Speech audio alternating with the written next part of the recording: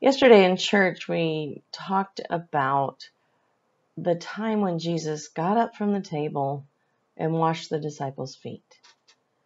That's a rare glimpse of servant leadership.